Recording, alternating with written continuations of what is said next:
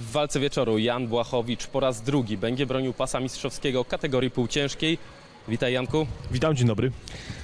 Gala UFC 267 zbliża się wielkimi krokami, o niej sobie porozmawiamy, ale ja bym się jeszcze cofnął do tej walki z Izraelem Adesanią.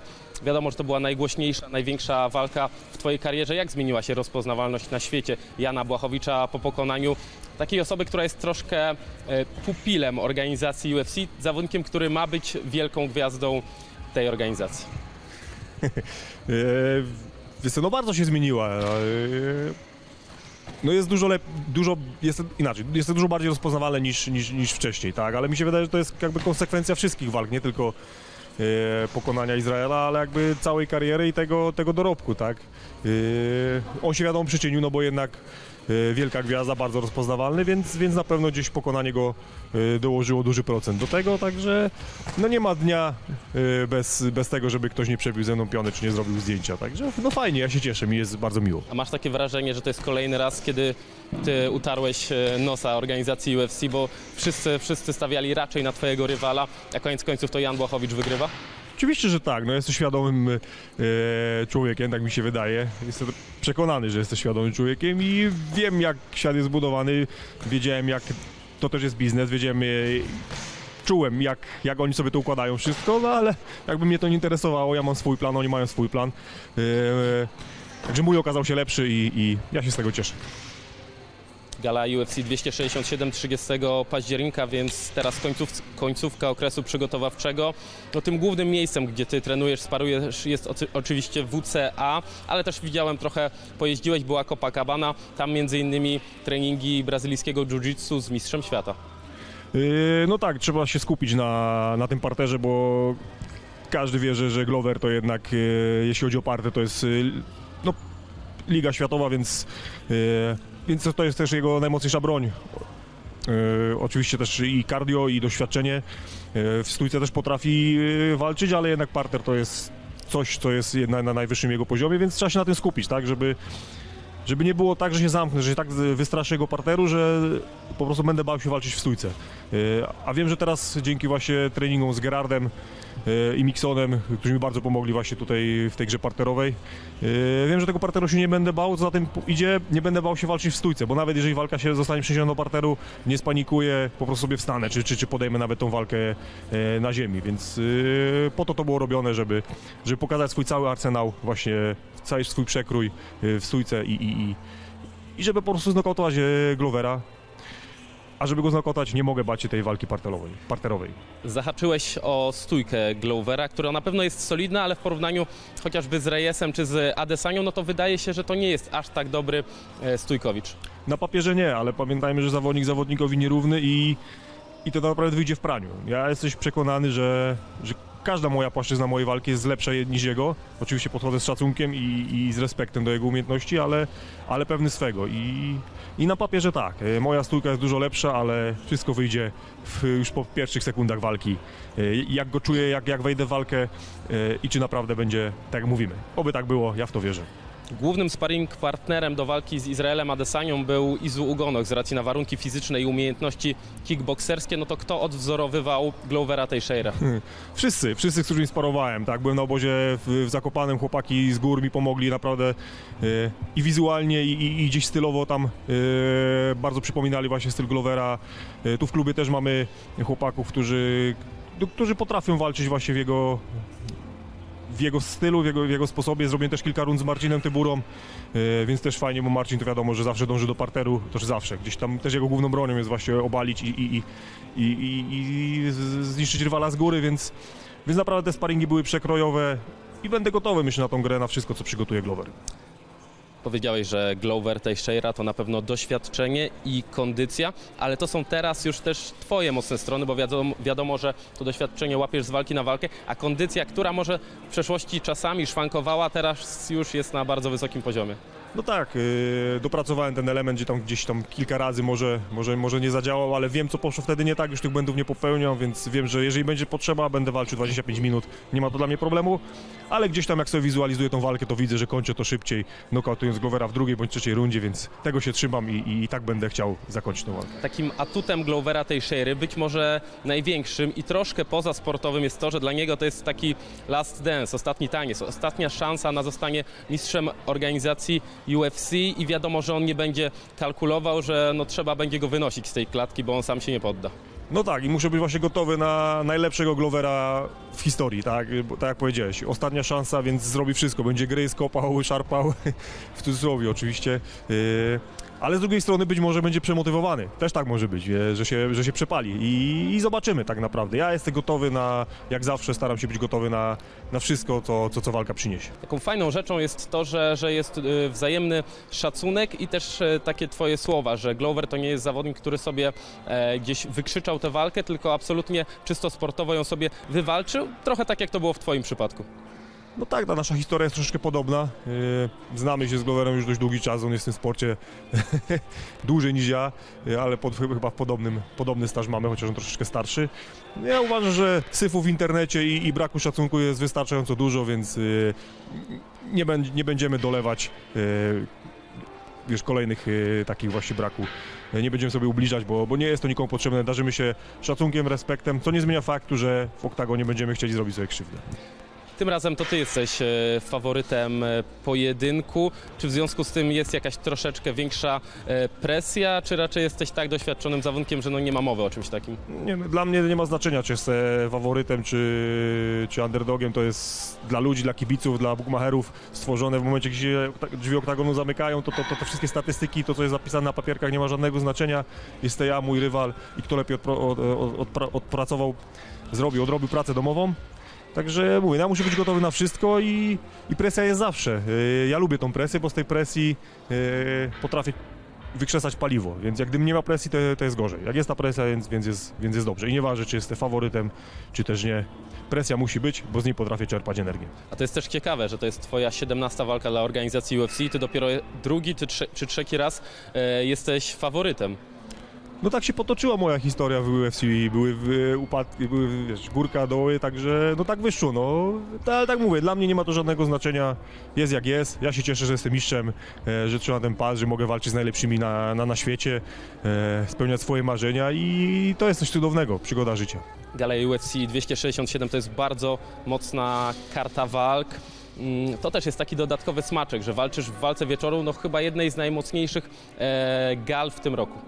No fajnie, ja się cieszę, tak, cieszę się, że, że, że jestem doceniany, że, że jestem obsadzany na szczycie tak mocnej karty. No mówię, ja się tylko cieszę, że, yy, że mogę właśnie walczyć dla organizacji UFC yy, w tak mocnym składzie i, i, i ten mocny skład zamykać, także no to jest coś cudownego.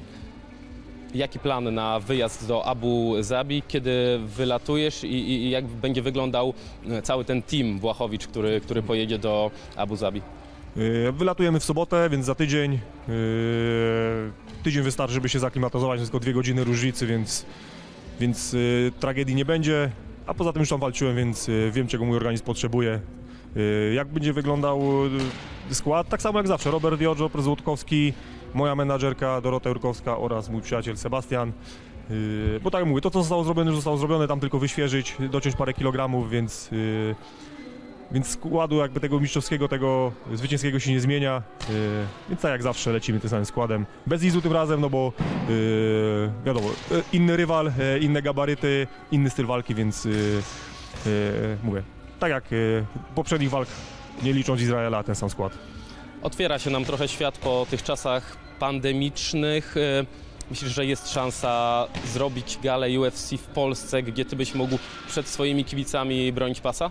Mam taką nadzieję, mam taką nadzieję, że, że nie wymyślą czegoś nowego, że się, że się świat nie zamknie, że nie zabarykadują w domach na nowo yy, i, i że ta kolejna walka, czy któraś tam przyszłości będzie w Polsce yy, na stadionie, byłoby coś cudownego zawalczyć. Yy, no zobaczymy, niech, się, niech tak się stanie. Na gali UFC 267 walczy łącznie trzech Polaków, bo oprócz ciebie Marcin Tybura i Michał Oleksiejczuk. Troszkę się interesujesz tymi walkami, czy skupiasz się absolutnie tylko na, na sobie?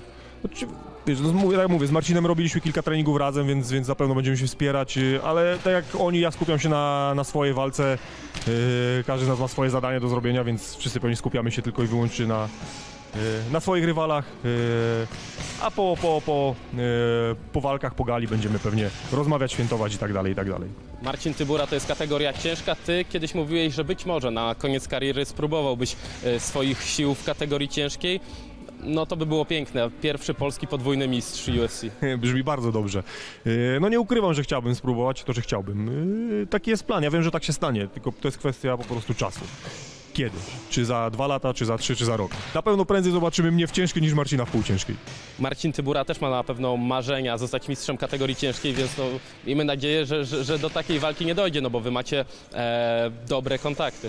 No tak, wiadomo. Yy, Ja Marcinowi życzę jak najlepiej, mam nadzieję, że yy, teraz znalazł swoje miejsce, yy, powiedzmy wrzucił ten słowo drugi bieg, jest na fajnym, fajnym etapie swojej kariery, więc liczę na to, że jeszcze dwie walki i, i, i, dostanie szansę.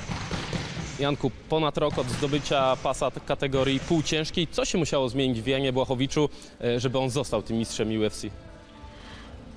O kurczę, yy, wiesz co, no musiałem dojrzeć do tego, gdzieś tam y, poukładać sobie pewne rzeczy, nie tylko w klubie, ale i poza klubem, y, dojrzeć do tego, że mogę być mistrzem, tak, uświadomić to sobie w 100% w głowie, poukładać wszystkie rzeczy sportowe, połączyć kropki, tak, żeby, żeby stworzyły tą całość i wydaje mi się, że to, że, że i wiara w siebie przede wszystkim, wiara w siebie, w mądre trenowanie, słuchanie swojego organizmu, no i stało się.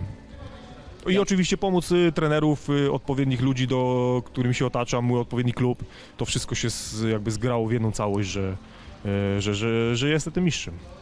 Jan Błachowicz jest jednym z najbardziej rozpoznawalnych obecnie polskich sportowców. Mówi się, że Sława to kapryśna przyjaciółka. Czy ty odczuwasz coś takiego, że no nie możesz sobie swobodnie iść e, z rodziną do kina e, na zakupy, bo cały czas ktoś chce, bo cały czas ktoś chce sobie z tobą zrobić zdjęcie e, czy, czy zbić piątkę? Wiesz co, inaczej, jakby w okolicy, w której mieszkam, to już wszyscy sobie ze mną zrobili zdjęcie i wszyscy ze mną pionę przebili, więc tam mam y, powiedzmy w miarę spokój. W kinie nie byłem bardzo dawno, idę, idę w piątek na, na Dune, więc y, odpowiem Ci na to pytanie. Nie no, jest to... Jeżeli jest y, event typowo y, właśnie sportu walki, no to wtedy jest ciężko. Ale jeżeli idę sobie przez miasto, to jest to raczej sporadyczne i bardzo miłe. Y, a jeżeli jest tak, jak mówię, event, że, że, że ludzie się znają, są stricte fanami tego sportu, no to wtedy, wtedy muszę się chować. E, Od prawie roku jesteś e, też ojcem, a wiadomo, że kiedy zostaje się ojcem, to zmieniają się troszkę e, w życiu priorytety. Odczuwasz lekką, może nawet nie lekką, dużą zmianę w swoim życiu? Yy, No oczywiście, że tak. Yy, Inna motywacja, inne spojrzenie na świat. Bo- O taką historię ci mogę powiedzieć, że byłem w zimie w górach i wchodziliśmy na, na jedną z gór. Pamiętam, że ja nie miałem, og- ogólnie nie byłem przygotowany zbytnio, a było oblodzone, było śnieg i doszłem do takiego momentu, gdzie już powinien być sprzęt, czyli jakiś czekan i, i, i raki. Ja tego nie miałem. I pewnie przed y, narodzeniem syna po prostu bym wszedł mimo wszystko na tą górę, a, a w momencie tego tego podejścia mówię, taki miałem, wiesz, flesza, że on czeka w domu na mnie, więc powiedziałem chłopakom, dobra, widzimy się na dole, ja zawracam, no nie? Także e, wiadomo, inna, i- inne spojrzenie na świat, ale jeśli chodzi o sport, to dodatkowa motywacja, więc jakby tutaj blokad nie mam. Tutaj właśnie mam, chcę dać siebie jeszcze więcej, e, no żeby, żeby zapracować na jak najlepszą przyszłość dla niego. Wystąpiłeś w programie Ninja Warrior, pokonywałeś e, tor i tak się zacząłem zastanawiać, jak wyglądają kontrakty zawodników UFC, czy nie ma tam jakichś wzmianek o tym, żeby tych niebezpiecznych e, sportów nie uprawiać? Wiesz, że musiałbym sprawdzić kontrakt, bo nawet nie pamiętam, albo zapytać menadżerki.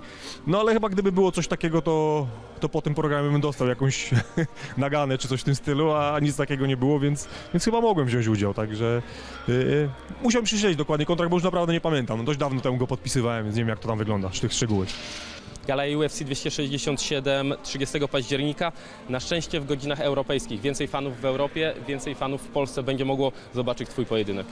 No fajnie i to jest y, fajna wiadomość, bo nie będzie trzeba zarywać nocki, tylko normalnie siąść wieczorem, obejrzeć.